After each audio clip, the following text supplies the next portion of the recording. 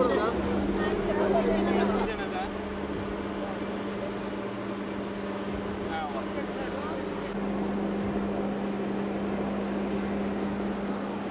Sonuncu dəfə Füzuli işğaldan azad olunanda bu cür qanatlanmışdım. Bugün isə sözün əsl mənasında Füzuliyə uçuruq. Düz 30 ildən sonra Bakıdan Füzuliyə ilk sınaq uçuşu həyata keçirilir. Tarixi səfərdir. Qarabağ adlı nəhəng təyyarənin ilk sərnişinlərindən biri olaraq demək istəyirəm ki, biz zəfər yolunu həm qurudan, həm də havadan çəkirik. Dikkatinize göre teşekkür ederim.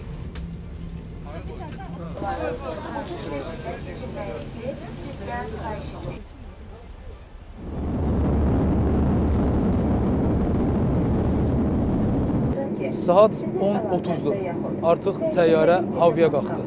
44 günlük Vətən müharibəsində əldə olunan zəfərin nəticəsidir ki, biz 30 ildən sonra elə təxminən 30 dəqiqəyə Füzuli hava limanına eniş edəcəyik. Eniş demişkən, eniş sözü burada simvolik məna daşıyır. Biz ə, Füzuli hava limanına eniş edərkən həm də şəhidlərimizin qarşısında baş əyəcəyik. Çünki bu uçuş da və edəcəyimiz eniş də onların qanı bahasınadır.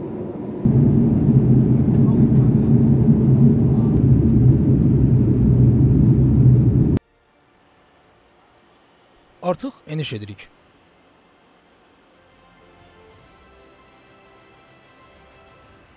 Azalın Qarabağ təyyarəsi Füzuli hava limanına endi. Digər bir simvolik məqam ondan ibarətdir ki, təyyarə Qarabağ adını daşıyır. Bütün media mənsubları da burdadır və biz elə Füzuli hava limanından düşəndə bizi e, hava limanı rəsmi nümayəndələri də qarşıladılar. Heç bir il deyil. Baxın, Füzuli hava limanı heç bir il deyil ki, artıq demək olar ki, son tamamlama işləri aparılır. E, çox e, tarixi bir hadisədir. Elə həmin ərəfələrdə Azərbaycanın Silkway aviaşirkətinə məxsus ən böyük yük təyyarələrindən biri olan Boeing 747-400 tipli hava gəmisi də Füzuli hava limanına eniş etdi və Qarabağa ilk dəfə hava yolu vasitəsilə yüklər çatdırıldı.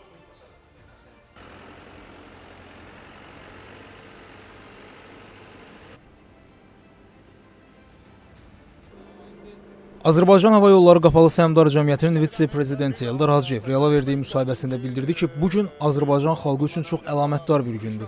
Bizim hər birimizin keçirdiyimiz hissləri sözlə ifadə etmək çətindir. Azərbaycan dövlətinin gücünü tərənnüm eləyən, təcəssüm eləyən e, bugünkü bu texniki uçuşlar e, burada öz təzahürünü tapıb dünyanın iki ən böyük təyyarələrindən olan Aerobus 340 və Boeing 747 təyyarələri buralarda öz texniki e, enişlərini, texniki uçuşlarını yerinə yetirirlər və bizim keçirdiyimiz hissləri, hər birimizin burada keçirdiyimiz hissləri e, sözlə ifadə eləmək çox çətin məsələdir. Bu gün biz bu işlər çərçivəsində inşa olunan Müzəffər Ali Baş Komandanımızın Qarabağın hava qapısı adlandırdığı Füzuli Beynəlxalq Hava Limanındayıq. Burada digər xidmətlərlə yanaşı Dövlət Sərhəd Xidmətinin müvafiq bölməsi fəaliyyət göstərəcəkdir. Hava limanında sərhəd nəzarətinin etibarlı təşkili məqsədi ilə yaradılan sərhəd nəzarəti bölməsinin müvafiq texniki vasitələrlə və peşəkar heyətlə komplektləşdirilməsi üzrə Dövlət Sərhəd Xidmət tərəfindən zəruri işlər görülür.